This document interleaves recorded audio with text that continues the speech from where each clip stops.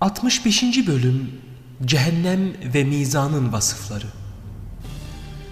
Daha önce de bu konunun bazı yönlerine değinmiş olsak da faydasının tam olabilmesi için burada yeniden ele almayı gerekli gördük. Tekrarlanan nasihatlerin gaflete düşmüş ve fesada uğramış kalplere fayda vereceğini umut ediyoruz. Cenab-ı Hak Celle Celaluhu Yüce Kitabı Kur'an-ı Kerim'de cehennemin dehşetine ve kıyamet gününün korkunç ahvaline büyük önem verir. Bu yüzden bunları pek çok yerde tekrar etmiştir. Bu durum da cehennem ve kıyamet ahvalinin akıl sahibi kimselerde büyük etki bıraktığını gösterir. Ayrıca bunların dışındaki hususların daha ehvem, ahiretin ise daha hayırlı ve baki olduğuna da tenbih vardır.'' Cehennemin sıfatlarına gelecek olursak Yüce Allah Celle Celaluhu lütfu ve ihsanıyla bizleri ondan korusun. Resulullah sallallahu aleyhi ve sellem şöyle buyurur. Cehennem siyah ve karanlıktır. Ne ışığı ve ne de alevi görülür. Yedi kapısı vardır. Her kapıda yetmiş bin dağ, her dağda ateşten yetmiş bin bölüm, her şubede ateşten yetmiş bin kısım, her kısımda ateşten yetmiş bin vadi, her vadide ateşten yetmiş bin han ve her handa ateşten yetmiş bin ev vardır. Her evin içinde yetmiş bin yılan ve yetmiş bin akrep bulunur. Her akrebin yetmiş kuyruğu, her kuyruğun yetmiş boyumu vardır. Her boyunda yetmiş bin testi zehir bulunur.'' Kıyamet günü olunca cehennemin üzerinden örtü çekilir. Oradan uçuşan büyük çadırlar insanların ve cinlerin sağından ve solundan, önünden ve arkasından geçip durur.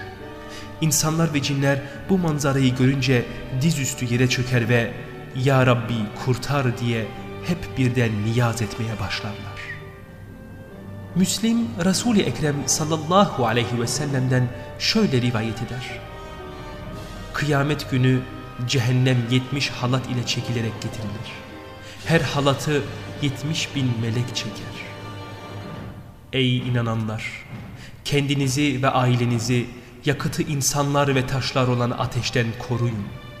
Onun başında acımasız, güçlü, Allah'ın kendilerine buyurduğuna karşı gelmeyen ve emredildiklerini yapan melekler vardır.'' Bir hadisi şerifte bu ayeti kerimede geçen cehennem zabanileri ve ne kadar büyük olduklarına işaret edilen hakkında şöyle buyurulur. Oradaki her bir meleğin iki omuz arası mesafesi bir yıllık yol kadardır. Ve her biri elindeki demir topuz ile bir dağa vurduğunda onu toz haline getirecek güçtedir.''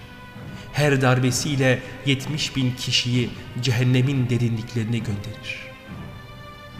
Üzerinde 19 vardır ayetinde belirtilen 19 melek cehennem zebanilerin reislerinin sayısıdır.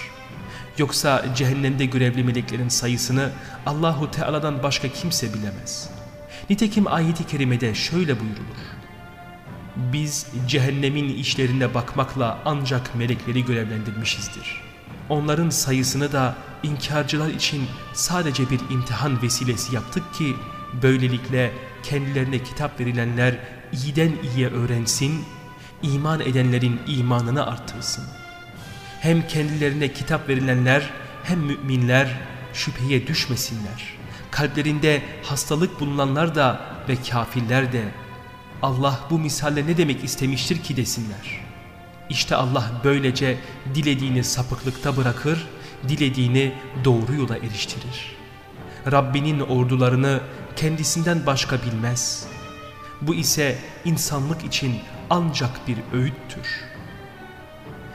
İbn Abbas radıyallahu anh'a cehennemin büyüklüğünü sordular. Dedi ki, vallahi büyüklüğünün ne kadar olduğunu bilmiyorum.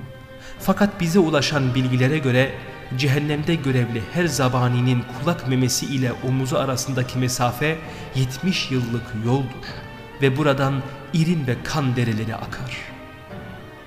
Tirmizi şöyle rivayet eder. Cehennemdeki çadırların duvarlarının kalınlığı 40 yıllık yoldur. Müslim Resulullah sallallahu aleyhi ve sellemin şöyle buyurduğunu rivayet eder. Sizin dünyadaki şu ateşiniz cehennem ateşinin hararetinin yetmişte biridir. Sahabe-i kiram dediler ki ey Allah'ın Resulü zaten bu ateş yeterlidir. Bunun üzerine Resulullah sallallahu aleyhi ve sellem buyurdu ki cehennem ateşi öbürüne 69 kat üstün kılındı.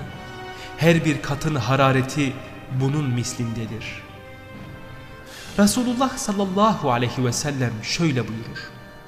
Eğer cehennemliklerden biri elinin içini dünyadakilere uzatmış olsaydı, onun hararetinden dünyada yaşayanların hepsi yanardı.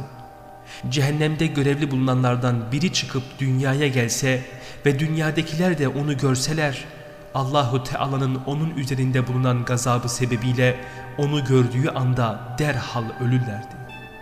Müslim ve diğerleri şöyle rivayet eder. Resulullah sallallahu aleyhi ve sellem sahabe-i kiram ile birlikte oturuyordu. Birden büyük bir cismin düşme sesi duyuldu. Bunun üzerine Resulullah sallallahu aleyhi ve sellem dedi ki biliyor musunuz bu nedir? Biz dedik ki Allah ve Resulü en doğrusunu bilir. Buyurdular ki bu 70 sene önce cehennem kuyularından birine atılmış olup düşmekte olan bir taşın dibe ulaşma sesiydi. O taş cehennemin dibine şu anda ulaştı. Ömer bin Hattab radıyallahu anh şöyle derdi. Cehennemi sıkça hatırlayın. Zira onun harareti pek şiddetli, dibi çok derin ve topuzları demirdendir. İbn Abbas radıyallahu anh şöyle derdi. Muhabbet kuşu nasıl sahibini arar bulursa cehennem de kendisine girecekleri arar bulur. Cehennem ateşi uzak bir mesafeden kendilerini görünce onun öfkelenişini ve uğultusunu işitirler. İbn Abbas radıyallahu anh'a yukarıdaki ayeti kerimeyi sordular ve cehennemin gözleri mi var dediler. İbn Abbas radıyallahu anh şöyle cevap verdi. Evet var. Siz Resulullah sallallahu aleyhi ve sellemin şöyle buyurduğunu işitmediniz mi? Kim bilerek benim adıma bana yalan isnat ederse cehennemin iki gözü arasındaki yerine hazırlansın. Sahabe-i kiram sordular. Ey Allah'ın Resulü cehennemin gözleri mi var? Peygamber Efendimiz sallallahu aleyhi ve sellem şöyle buyurdu. Siz Cenab-ı Hakk'ın cehennem ateşi uzak bir mesafeden kendilerini görünce buyurduğunu işitmediniz mi? Şu hadisi şerifte yukarıdaki hadisi teyit eder. Cehennemden bir boyun uzanır. Bakan iki gözü ve konuşan dili vardır. Şöyle der. Ben Allahu Teala yanında başka ilahlar tanıyanları yakalamakla görevlendirildim. O kuşların susam tanelerini iştahla topladıkları gibi cehennemlikleri görür ve toplar.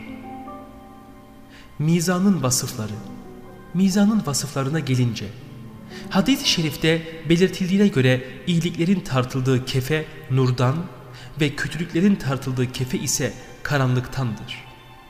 Tirmizi Resulullah sallallahu aleyhi ve sellemin şöyle buyurduğunu rivayet eder. Cennet arşın sağına, cehennem ise soluna konulur. İyilik kefesi sağa ve kötülük kefesi de sola konulur. Böylece cennet iyilikler kefesine ve cehennem de kötülükler kefesinin karşısına gelmiş olur. İbn Abbas radıyallahu anh şöyle derdi. İyilikler ve kötülükler iki kefesi ve dili olan mizanda tartılır. Kıyamet günü Allahu Teala Celle Celaluhu kulların amellerini tartmak isteyince onları maddi cisimler haline getirir ve mizanda tartar.''